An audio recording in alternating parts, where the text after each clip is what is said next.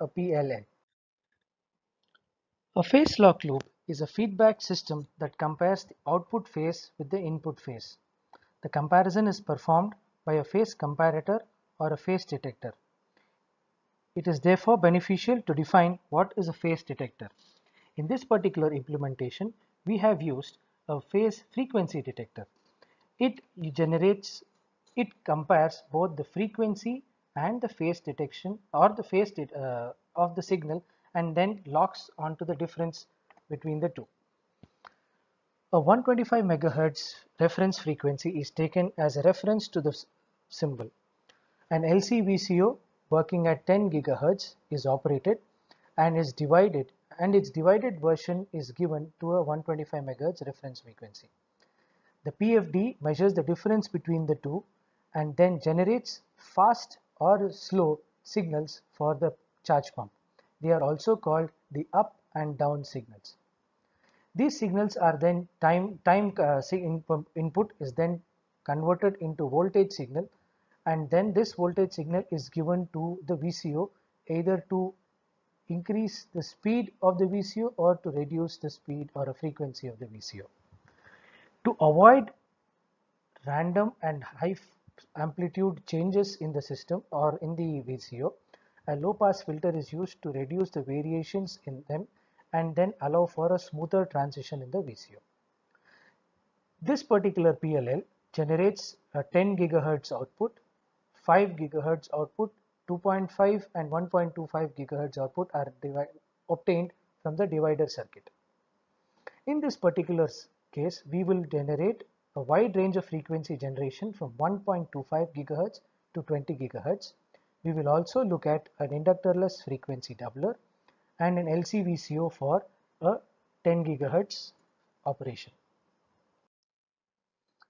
This particular frequency synthesis is divided into two blocks a phase lock loop in the red color which contains an LCVCO, a phase frequency detector and a charge pump based detection scheme which generates a frequency output from 1.25 GHz to 10 GHz.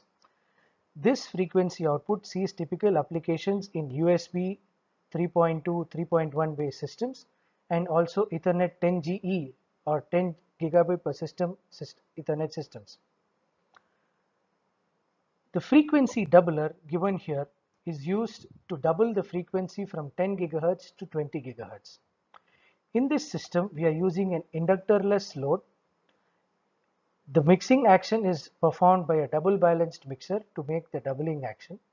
The typical applications of this additionally or independently would be in the transmitter changes and in upconversion mixers. Both these works were presented in IMARC 2018 as an IEEE conference and the VLSI Design and Automation Test conference in 2019. Let us spend some time on the design of the LCVCO based phase lock loop. The phase lock loop is highlighted in this region in red. There is a reference frequency given to the input which receives the uh, parallel comparison output from the divider of the VCO. That information is sent to a phase frequency detector.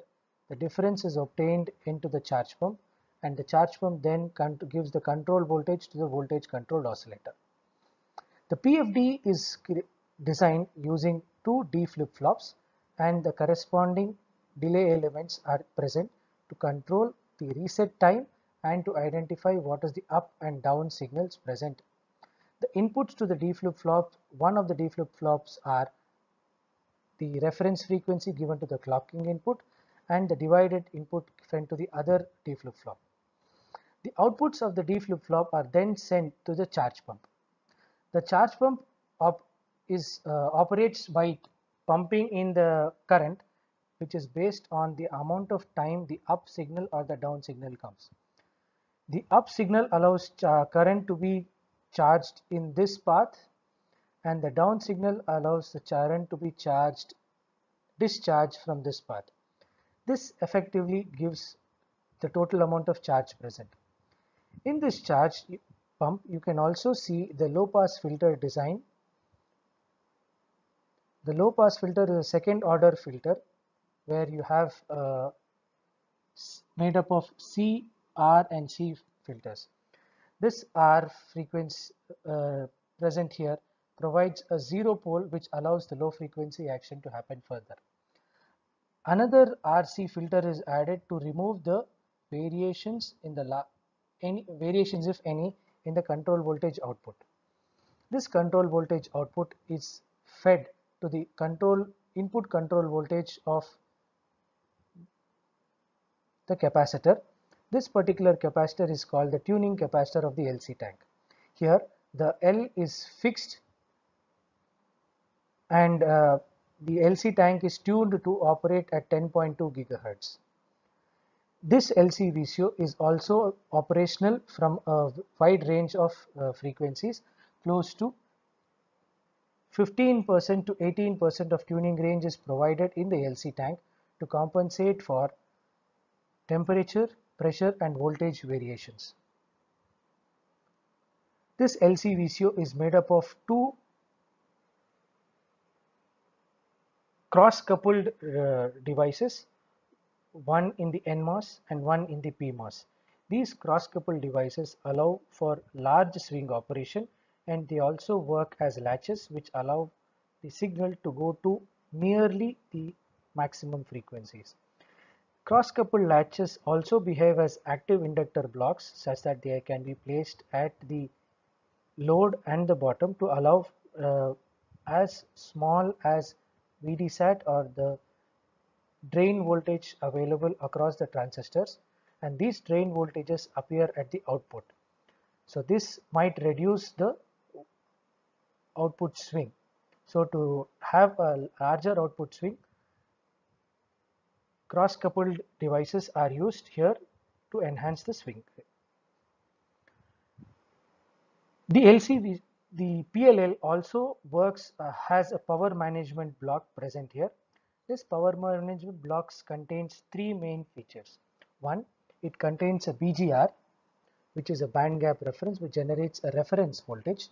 It contains a, a voltage regulation circuit specifically for the three blocks, four blocks highlighted, the charge pump, the VCO, the doubler and the buffer. Finally, you have a current distribution circuit which is used to bias all the other current blocks and current sources present. For example, the one shown in the ICP as a charge pump.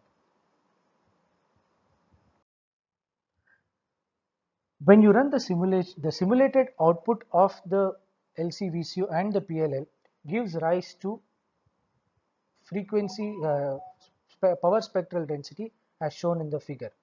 The first figure highlighted here is the LCPLL operating at close to 10 gigahertz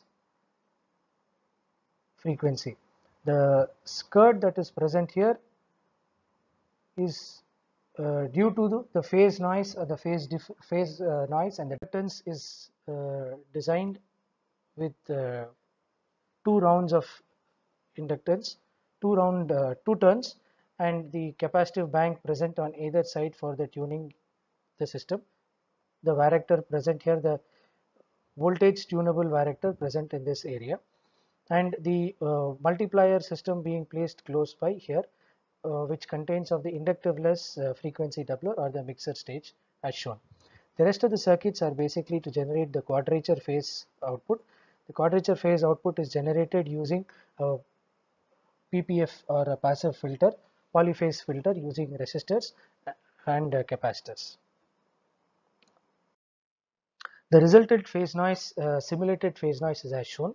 We observe that the resultant phase noise at 1 megahertz offset for the 10 gigahertz PLL came out to be minus 95.12 dBc per hertz, and the frequency doubler output at 20 gigahertz has a phase noise at minus 93.88 close to minus 90